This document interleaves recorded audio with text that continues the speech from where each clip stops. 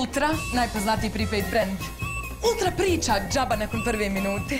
Ultra surfa za one koji vole da surfaju. Ultra lako za prepoznati, ultra lako za opisati. Super ultrastična ponuda. BH Telekom. Dajemo više. U emisiji Crno i Bijelo između ostalog donosimo odbijen prigovor Republike Hrvatske na izvoz mlijeka iz Bosne i Hercegovine u Evropsku uniju. Podpredsjednik Federacije Bosne i Hercegovine podnijeće apelacije na postojići zakon o stečaju. Predstavnici sindikata TTU-a i Livnice Čelika najavili nastavak borbe za radnička prava. Objavljen treći rok za upis studenta na univerzitet u Tuzli. Gledajte crno i bijelo jer vrijeme je za istinu. Sad ti. Uh, Ultra, najpoznatiji prepaid brand. Ultra priča džaba nakon prve minute. Ultra surfa za one koji vole da surfaju. Kad si ti to sve vidio? Ultra lako za prepoznati, ultra lako za opisati. Super ultrastična ponuda. Ma ti si ultrastična. BH Telekom. Dajemo više.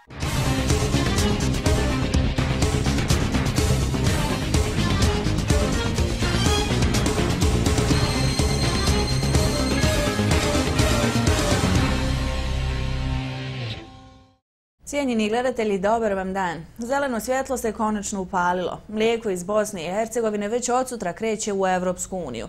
Prigovor susjedne države je odbijen, a proizvođači nisu krili zadovoljstvo činjenicom da će Bosna i Hercegovina ponovo biti na listi zemalja koje ispunjavaju uslove za izvoz.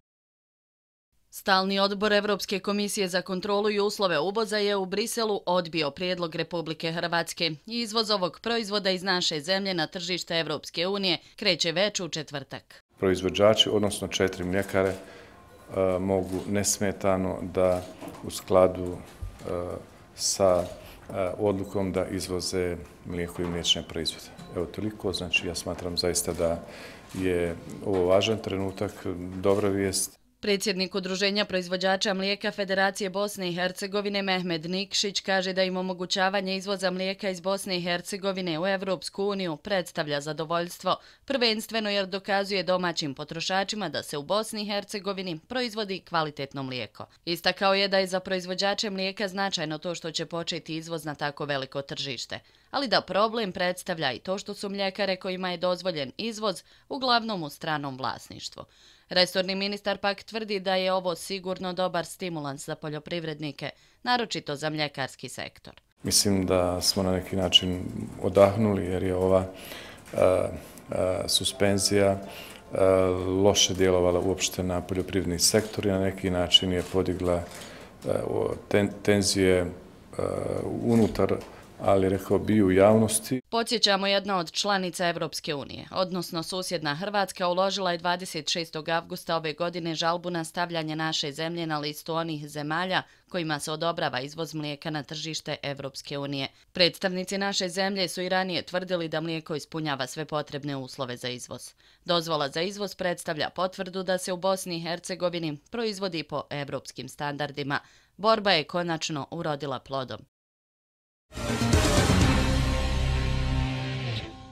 Glavna je tema sastanka predstavnika Sindikata Solidarnosti ispod predsjednikom Federacije Bosne i Hercegovine, koji je danas boravio u Tuzli, bila je upućivanje apelacije Ustavnom sudu Federacije na ocjenu ustavnosti postojećeg zakona o stečaju. Nakon deset godina koliko je zakon na snazi, došlo je vrijeme da se zakon uskladi sa Ustavom i da se zaštite prava radnika. Ne smijemo zaboraviti da su radnici u Bosni i Hercegovini Federaciji također građani i ne smijemo ih tretirati na bilo koji drugačiji način, poručio je podpredsjednik Federacije Bosne i Hercegovine Milan Dunović na sastanku s predstavnicima sindikata Solidarnosti. Dunović je obećao da će uraditi sve što je u njegovoj moći kako bi se pokrenula apelacija na zakon o stečaju, koji je, kako kažu, donesen neustavno. On sam uputit će apelaciju Ustavnom sudu Federacije, jer kako je navedeno, za zakon o stečaju nije u skladu s Ustavom Federacije. Postoji određeni članovi zakona o stečaju koji definišu da se radnicima u preduzećima koja su pod stečajem isplaćuje osam minimalnih plata. E, to je protivno ustavu jer e, ugovorom definisane plate nisu minimalne plate i ne treba ih ograničavati na 8 mjeseci. To je osnovni razlog zbog koga ću pokrenuti apelaciju u smislu ocjene ustavnosti navedenog zakona. Ocjenu ustavnosti zakona pravno je na poziv Sindikata Solidarnosti ocijenio Zlatan Begić, profesor ustavnog prava Univerziteta u Tuzli. Imamo ljude koji rade godinama, e, pritom je država nije iskoristila sva sredstva koja joj stoji na raspolaganju. Još samim zakonom je stvorila pretpostavku da nečiji rad može da se iskorištava, a da mu pritom je to ne morate da platite. Postojećim zakonom o stečaju, tvrdi profesor Begić, stvorena je mogućnost da se pojedinac, vlasnik koji upravlja firmom, godinama bogati, a nakuplja dugove prema državi, zbog kojih na kraju odlazi u stečaj. Prema podacima Udruženja stečajnih upravnika Bosne i Hercegovine, u posljednjih deset godina u našoj državi oko 1500 firmi otišlo je u stečaj a ako uzmemo u obzir da oko 1500 firme od koji su mnoge veliki sistemi, onda možete shvatiti kakve su značajne posljedice. Time se dakle ljudi pravi bijeda. Na pitanje novinara kako je usvajanje ovog zakona prošlo neopaženo, profesor Begić navodi nekoliko razloga. Jedan od njih je nemogućnost uvida u rad parlamenta u trenutku kada donosi zakone, kao i izostanak sindikata prilikom izglasavanja zakona i zastupanja radničkih prava. Kao treću stvar navodi šutnju akademske zajednice i struke, zbog čega takav jedan neustavan zakon ostaje na snazi više od deset godina i pogađa na desetine hiljada ljudi. Predstavnici sindikata Tvornice transportnih uređaja Tuzla i Livnice Čelika najavili su nastavak borbe za radnička prava. U Livnici Čelika je u toku stečajni postupak, a vlada Tuzlanskog kantona najavljuje to i za TTU. Međutim, radnici se protive i poručuju da neće dozvoliti ulazak stečajnog upravnika. U ponedjeljak su najavljeni novi protesti radnika TTU-a. Deset mjeseci radnici Tvornice transportnih uređaja Tuzla potražuju svoja prava.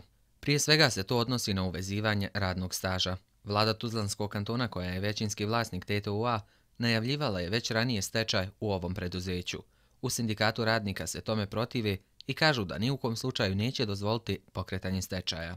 Fabrika u TTU može da radi, ima mašine, ima majstore, nego je cilj vladi da fabriku zatvori, da tajfuni uđu u TTU, da zdravu firmu uzmu, džabe, da raspačaju onu imovinu koja ima, dole u tetu, da se neko namiri, a radnici da idu bez ista na biro. Znači, radnici idu na biro. Resorni kantonalni ministar je ranije iznio svoj stav po ovom pitanju. Tvrdi da je ova firma u šest mjeseci napravila 2 miliona maraka gubitka, što je dovoljan razlog za pokretanje stečaja. Što je vrlo indikativno i pokazuje kakvom se privrednom društvu nalazi trenutno TTU, odnosno u kakvoj situaciji nalazi privredno društvo TTU jedino rješenje je stečajno restrukturiranje. I mi ćemo pokušati da radimo na tom rješenju i ako Bog da doćemo znači, do, do, do, do svog cilja. Sličan slučaj je i sa livnicom Čelika Tuzla. Predstavnik radnika Osman Sofić tvrdi da radnici više od godinu dana nisu u preduzeću, dok su njihovi dokumenti još uvijek tu. U julu su protestovali pred zgradom kantonalni vladi, tražeći odgovor na pitanje kom zakonskom okviru oni pripadaju. Ne znaju šta dalje, Za razliku od TTU-a, u Livnici Čelika je već pokrenut stečajni postupak. Nas ne zanima stečaj Livnici. Nas ne zanima likvidacija Livnici. Nas ne zanima ništa osim ono što jest nam zadaća. Da se borimo protiv pljačke radničkog potraživanja i radničkog prava. U posljednje dvije godine u Tuzlanskom kantonu ugašeno je sedam preduzeća metalne struke. Bez posla je ostalo više od hiljadu metalaca. I dalje se nastavlja trend pada proizvodnje. Ako ugasimo remont montažu, ugasimo te i tu, ugasimo livnicu čelika, a sva ta privredna društva su naslednjena na energetski sektor, postavlja se pitanje ko će da radi. Hoćemo da uvozimo radnu snagu. Svi su složni da je stanje u ovoj oblasti zabrinjavajući. Ukoliko se ugasi sva metalna preduzeća u državi, postavlja se pitanje da li nam trebaju škole i takvi fakulteti. To vodi i do sljedećeg pitanja gdje će ta struka raditi, jedino van granica državi. Radnici tvornice transportnih uređaja Tuzla za ponedjeljak su najavili novi proteste. Treći upisni rok za popunu upražnjenih mjesta po konkursu za upis studenta u prvu godinu prvog ciklusa studija na Univerzitetu Tuzli za akademsku 2015-2016 godinu objavljen je danas. Ostalo je 414 slobodnih mjesta na nekoliko fakulteta Tuzlanskog univerziteta. Prijem prijava vršit će se od srijede do petka. Prijemni ispit biće održan 14. septembra u 10 sati. Privremena lista biće objavljena isti dan, a konačna 17. septembra. Upis primljenih kandidata na studijskim programima na kojima se stvore uslovi za upis obavit će se 17. i 18. septembra. Nacrt sporazuma o međusobnom pružanju pomoći i operativnoj saradnji policijskih organa u Federaciji Bosne i Hercegovine u uvjetima rješavanja kriznih stanja na prostoru Federacije bila je tema današnjeg sastanka ministara i komesara policije svih deset kantona. Federalno ministarstvo unutrašnjih poslova, deset kantonalnih ministara i komesara sastalo se danas kako bi razmatralo sigurnosnu situaciju na području federacije. Na osnovu uporedbe podataka u prvoj polovini 2015. godine zabilježeno je povećanje saobraćajnih nesreća za 6,6% u odnosu na proteklu godinu. Iz tog razloga dogovoreno je da se posveti posebna pažnja ovoj oblasti, kao i razvoju strategije sigurnosti u saobraćaju. Strategija će koštati oko 500 500.000 konvertibilnih maraka i u planu je angažovanje stručnih osoba koji će pomoći prilikom formiranja strategije. Iskoristit ćemo neka iskustva koja sada smo već čuli ovde e, na području svih kantona gdje evidentno imamo e, e, dosta problema u toj oblasti. Jednostavno moramo se svi posvetiti tome. Dakle, to ne zavisi samo od policijskih struktura, od ministarstava unutrašnjih poslova, nego od jedne šire društvene zajednice. U prvoj polovini 2015. godine u Federaciji Bosne i Hercegovine dogodilo se ukupno 13.294 saobraćajne nesreće u kojima su poginule 74 osobe. Od toga u Tuzlanskom kantonu dogodilo se 1264 saobraćajne nesreće u kojima je smrtno stradalo 14 osoba. Učesnici sastanka danas su razmatrali nacrt sporazuma o međusobnom pružanju pomoći i operativnoj saradnji policijskih organa u federaciji u uvjetima rješavanja kriznih stanja na području federacije. Ministar Čampara je istakao da bi potpisivanjem ovog sporazuma između Federalne uprave policije i kantonalnih ministarstava unutrašnjih poslova došlo do uspostavljanja efikasnijih oblika saradnje u oblasti borbe protiv svih pojavnih oblika kriminaliteta i poboljšanje cjelokupne sigurnosne situacije. Ovaj sporazum podrazumijeva utređena pravila e, u okviru koji bi se ta suradnja odvijela i angažiranje e, policijskih snaga na određenom prostoru ili na više prostora, govorimo o kantonima, u prostoru federacije. Pored porasta broja saobraćajnih nesreća prilikom rasprave o stanju sigurnosti na području federacije, izneseni su podaci o broju krivičnih dijela. U prvih šest mjeseci 2015. godine došlo je do smanjenja broja krivičnih dijela za 13,8%. U konačnici je zaključeno kako je policija u federaciji stanje sigurnosti držala pod kontrolom, kako u segmentu sprečavanja narušavanja javnog reda i mira, tako i u suprotstavljanju svim vrstama kriminaliteta.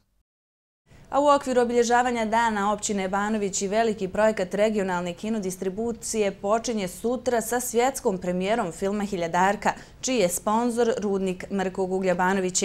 Ova premijera će osim glumačke i filmske ekipe ugostiti i političku i estradnu kremu cijelokupne regije. Biće upriličena i vožnja turističkim vozom Banovićki i Čiro na platovu ispred direkcije Rudnika Banovići te svečano puštanje u rad četiri damper kamiona. I bila bi to sve u emisiji Crno i Bijelo. Za pitanje i sugestije javite se redakciji informativnog programa putem maila redakcija etrtvslon.ba. Više vijesti pronađite na našem web portalu i teletekstu. Do gledanja.